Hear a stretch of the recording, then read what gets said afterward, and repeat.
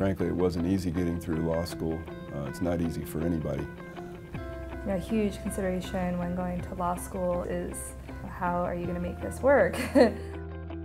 I really would like students to have the chance to make a choice based upon the vision and dream they have for themselves. There's like a sense that, you know, while we're here, we're going to make this as great as an opportunity for kids as we can. Georgetown's a community of people who love helping each other out, and I'm grateful to be part of it. It's just an amazing place to learn, an amazing place to be. I'm just forever grateful that I was able to be given this opportunity. I'm so blessed.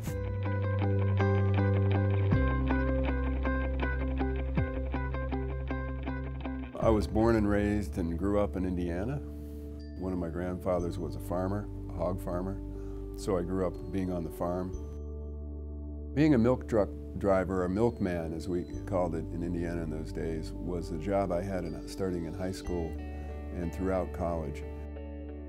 I grew up in uh, New Jersey. I was born in a small town called Neptune, New Jersey.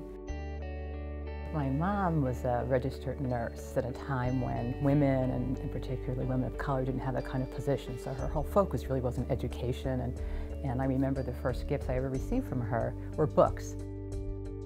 I went to DePauw University on a full uh, academic scholarship. The day I graduated from DePauw, I'd already been accepted at Georgetown Law School and some other law schools, some good law schools, but I was real interested in going to Georgetown. Um, I'd always wanted to be a lawyer. No one in my family was a lawyer. I don't quite know where it came from other than I watched Perry Mason. I was a Perry Mason baby. I always wanted to be Perry Mason, have a little drama, you know, in the courtroom. You remember all the surprise witnesses would come in and Perry would have a big surprise and I wanted to be Perry. And that really, you know, activated my interest in the law. And so after uh, NYU, I applied to Georgetown Law School. I drove my 1966 Volkswagen Beetle to Washington and I had no money. I came here with uh, 200, exactly $200. My dad couldn't believe that I was doing this.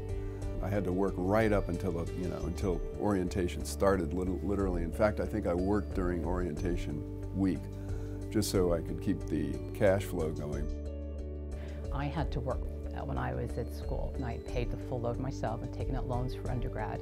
And for law school, I didn't have enough money for law schools. I had to work when I went to school full time. So after class, I'd go running to my, you know, my evening job and work. And so I didn't really have the chance to embrace, I think, the fullness of the experience of law school.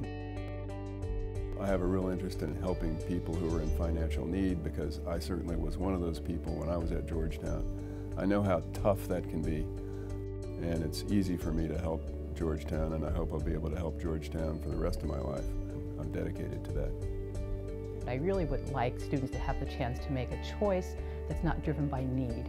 So they could make one that's more, have more flexibility to choose a career that they want based upon the, you know, the, the vision and dream they have for themselves. And that, that really, I'll tell you honestly, is the reason I give back to Georgetown.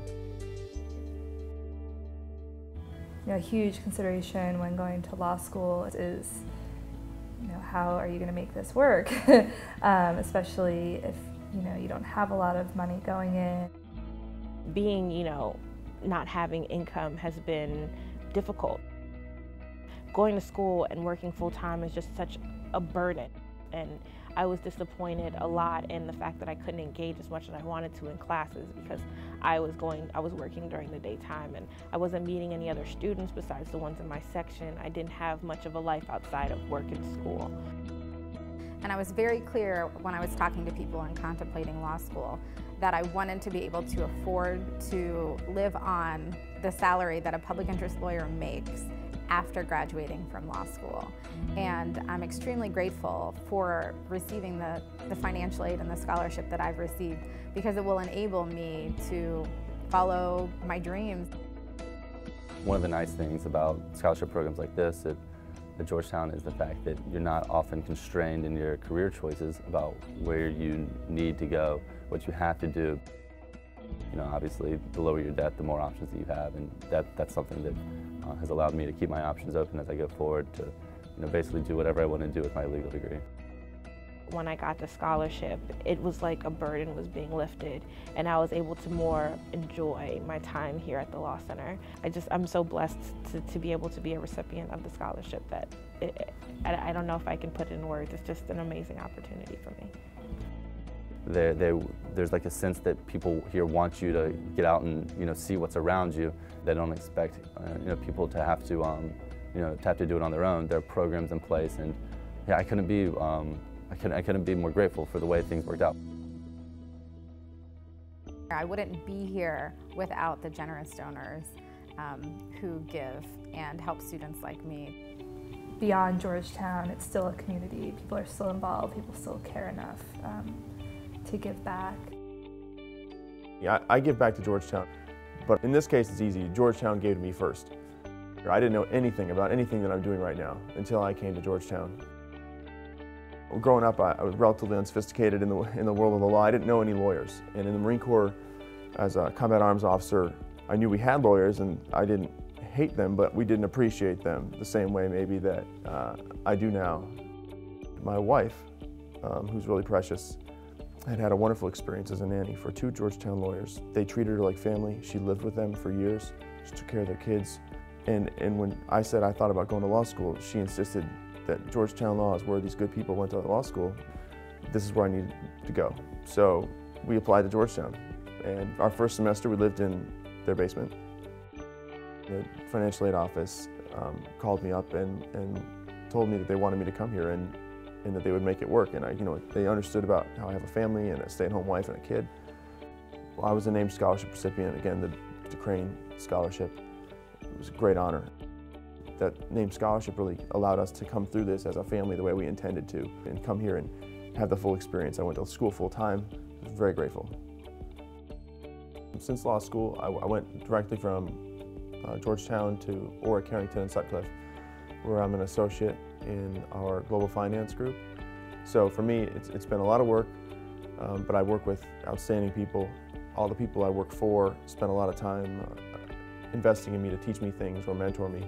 And I've experienced now looking back since law school some substantive growth. So I can tell there are actual things I can help clients with now, but I never would have had the opportunity without Georgetown. And I, I recognize that. And as a young professional and as a, a parent and a husband, Georgetown gave to me first. It really is kind of an amazing thing to know that there's people that, um, like me, had such a positive experience at Georgetown that they care enough that they want to be able to make that happen for the next generation and the next generation and the next generation.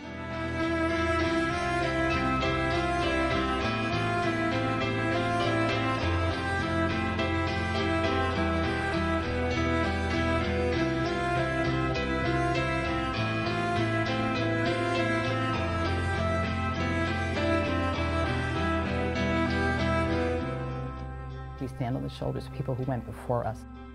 And really an opportunity to reach back and pull people forward. And that's another reason that really inspires me to, to be involved at Georgetown as an alum and be able to, you know, in some way open doors that were opened for me.